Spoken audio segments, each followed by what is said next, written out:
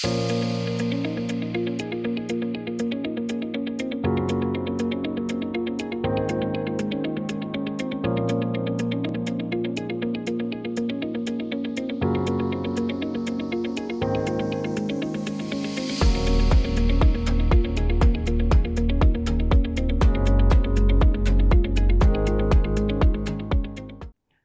Welcome, it is a continuation of the previous lecture and we, we are going to consider here the performance assessment under bifrequency spread spectrum DPWM using experimental result. So, here we will first talk about briefly touch upon the FPGA implementation aspect for our hardware and then we want to show the hardware implementation detail of voltage mode bifrequency DPWM, then comparative study of power spectral density using experimental result and also the impact on the transient performance using experimental result. So, we have discussed about this bifrequency modulation technique in detail and this conceptual waveform also we have discussed in the previous lecture and the details about this technique is discussed in this research paper. And in this technique what we are going to design first of all we have already designed this block using Verilog HDL in the previous course previous lecture and we are going to consider our hardware prototype which we have discussed multiple time that we have used inductor value this, capacitor value this. In this case, we are consider we have considered input voltage of 5 volt, reference output of 1.8 volt, switching frequency nominal. So, this is our nominal switching frequency 200 kilohertz and we have changed the load resistance between that means 13.5 and then the switch load is connected or disconnected based on and this will create load step up and step down transient. And this is our uh, schematic diagram now, the other hardware detail we have considered a digital PID controller.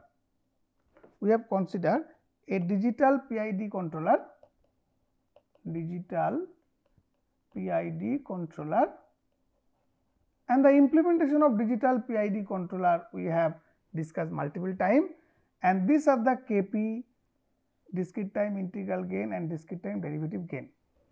Though we are using 10 bit ADC, but we have discarding 1 bit because otherwise ADC bit should not be higher than DPWM. In fact, it should be smaller than DPWM, but since DPWM resolution we cannot increase beyond 9 bit because we are using 100 megahertz the digital controller clock that is our F clock and our switching frequency is 200 kilohertz nominal. So, we cannot have better than 9 bit resolution, but we can drop one more bit to the ADC, but it will affect the regulation. That is why we kept 9 bit and it is more or less we are getting we are not getting as such limit cycle oscillation that is why we have continued with this design. And we know that voltage feedback gain is 0.27 and we are using an equivalent ramp voltage of 2 volt. Now, we want to show experimental case study of power spectral density and we have considered at 5 volt input 1.8 volt is the desired output. The equivalent load resistance is 0.322 and we are getting a nominal load current uh, which is around experimental we are getting 5 ampere load current. And this is the power spectral density where this is the FFT of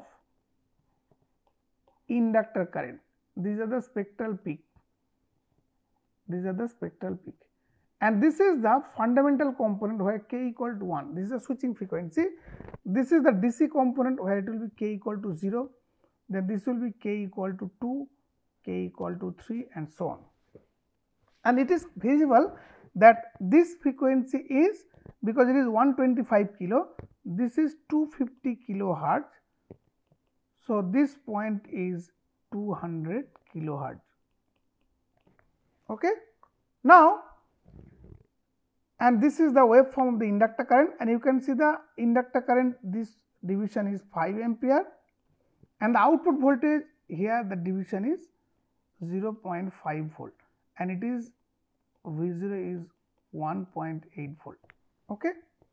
And you can see the average load current is roughly 5 ampere. That is the inductor load current. Average inductor current is the load current. Same operating condition we have continued with the bifrequency. And what we have used we have hopped between two switching frequent period that means TSW1 which is nothing but TSW1 which is 5.1 microsecond and TSW2 is our 4.9 microsecond. And we have discussed that this TSW1 is nothing but the TSW nominal plus delta TSW and this one is nothing but 5 microsecond and we we have discussed that TSW is nothing but 2 percent of TSW nominal. Okay. So, that means TSW1 is TSW nominal plus delta TSW and this is nothing but TSW nominal minus delta TSW. And the, this and the effect and this we are changing TSW1 for 20 switching cycle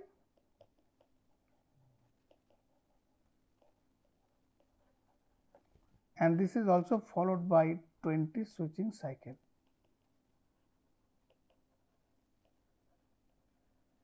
So, every 20 switching cycle we are changing the time period for case of bifrequency DP here the time period is fixed.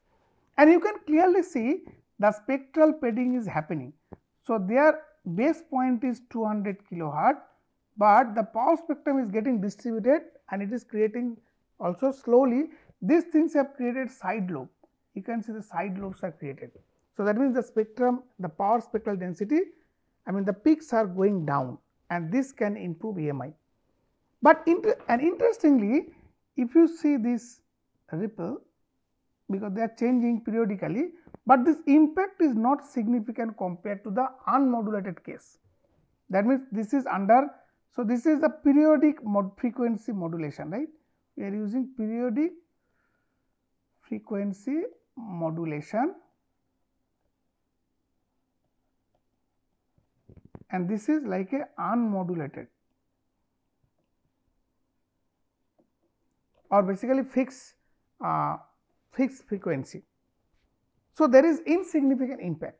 Now, our next question interesting point how it is going to affect the transient performance because this technique actually the closed loop is on all the time and this was proposed in the research paper that we have presented. I mean this research paper we have presented this result. So, you can get the detail in this paper. Next if we go to the transient performance we want to see you see this is a load step up transient under fixed frequency modulation for a load step up of almost 5 ampere load step. And how much is the undershoot? Because this division is around 0.5 volt. So, the undershoot delta V 0 is roughly around how much? It is around 250 millivolt. And what is the settling time? So, settling time it is 40 microsecond. So, it is roughly around T settling is like 30 30 microsecond you can think of and there is a current overshoot also. Now, if we compare the same thing with the bifrequency DPWM, you see that effect is insignificant because the same the delta V 0 here also 250 millivolt and here slight oscillation, but here also settling time is you can see that Ts is almost 30 microseconds. So, that means the transient step up transient performance is almost unaffected.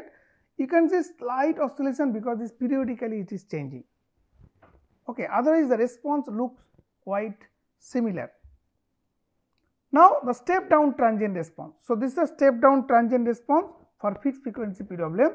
So, you are getting almost 200 overshoot is almost 200 millivolt and the settling time you can say it is taking up to this cycle because there is some sort of slow damping or even if you consider this. So, settling time is coming around 40 almost 3 that means 120 120 microsecond.